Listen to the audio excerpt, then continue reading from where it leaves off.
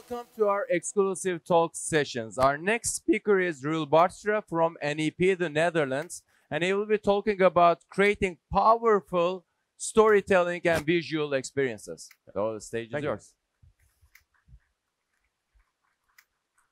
Hello, everyone. My name is Roel Bartstra. I work for NEP. And uh, together with the graphics department at NEP, we always try to create the, the highest quality graphics inside the Unreal Engine, composited, of course, in, in reality. Uh, this time around, we try to uh, utilize the ray tracing technology uh, to enhance a dynamic experience. So uh, a lot of people are talking about ray tracing right now, so we thought it would be a good time to actually explain a bit how the ray tracing works, how Unreal Engine handles it, how reality handles it, and uh, hopefully uh, you enjoy the talk. So uh, what makes this uh, very different from what we used to do in the past, uh, some of you might have seen our work already, is the, uh, the difference in how real-time this set is. So if you have a look around in this set, there's a lot of stuff going on here, but what, what's the most important uh, part, uh, part to take away is that everything is truly rendered in real time. So all the lighting, all the reflections, all the shading is all calculated every frame. So how, how is this done in the past? So uh, usually real-time renderers use a so-called uh, rasterizer, which means that every triangle in the scene, because everything around me is made out of tiny triangles, is uh, it's it's calculated uh, which pixels actually end up on the screen. And from that point on, it's kind of like uh, compositing the image to give you the feeling that you're looking at a realistic image. But the problem with this technique is that everything you're doing is basically happening inside your uh, view. So anything only works inside your view. This means if you look at the traditional techniques, reflections only act correctly within your frustum. And uh, lighting is calculated inside your frustum. And anything that shoots back in, uh, in, in, a mirror and shoots back behind the camera or around you will actually just show a pre-captured image. Now the other important part is lighting. Lighting is really expensive usually to do. But uh, in this set, we show off like what real-time lighting can look like. So anything in this set is changeable, uh, utilizing uh, the ray tracing technology. So in this case, uh, we also wanted to show off how dynamic you can actually set up a set. So uh, first of all, uh, oh yeah, I want to say a bit more about the lighting in ray tracing because you, you actually, when you look at these lights in real life, what happens is the light is bouncing around and it actually hits your eye and that's how you perceive colors and the world around you. And what happens inside a ray tracing is exact, uh, exactly the opposite. It's you shoot from the uh, camera and you bounce around until you hit a light. But this is really expensive to do actually. Uh, so it's only used in uh, offline rendering techniques by uh, film industry.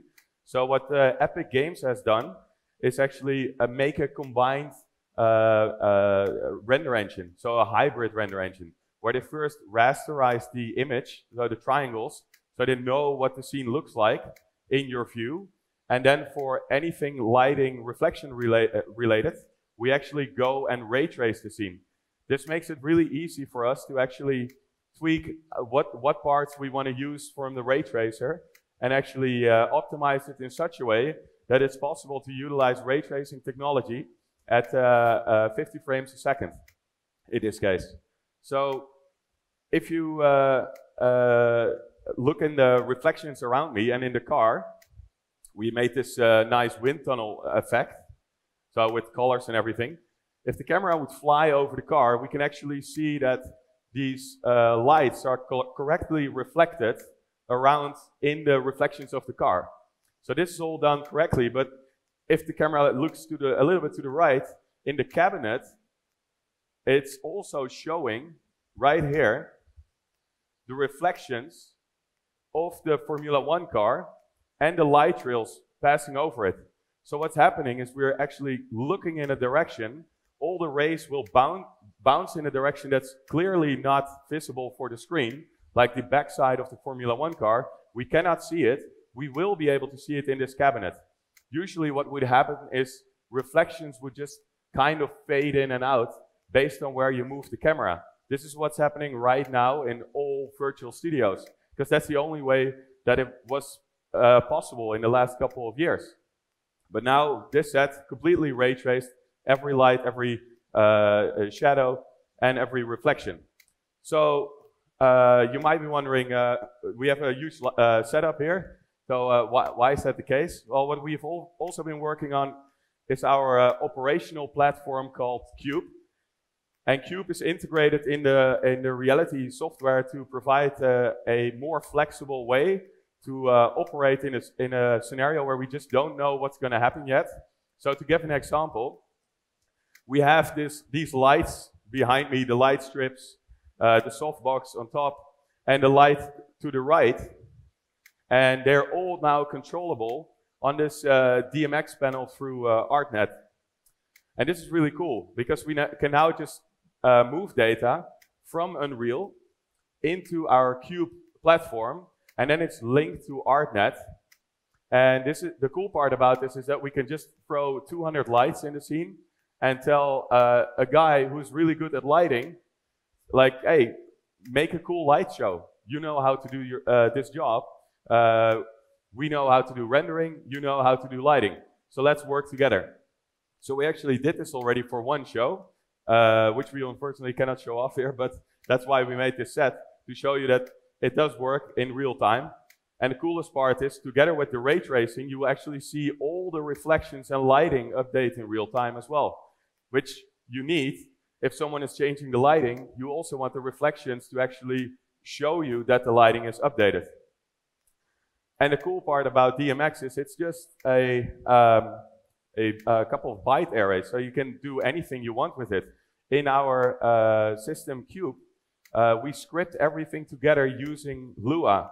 So if you uh, get the DMX data, you can actually script it to anything in Unreal. So what's happening to the right, light right here that's sitting on side of the uh, uh, on the top of these tires, it can actually be rotated around with the DMX really easily, and we hooked it up with a blueprint that actually handles this process. So we get the data, Lua sends it to a blueprint in Unreal, and Unreal is like moving the lights around.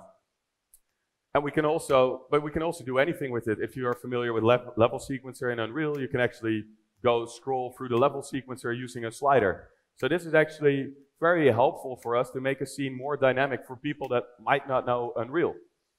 And you end up in a studio where you can make an, uh, an installation, and everyone in the studio who has a, uh, their uh, job in the, in the real world as a lighting guy can now have their job in the virtual world as well which is really important to us. So uh, that's basically what I wanted to show off.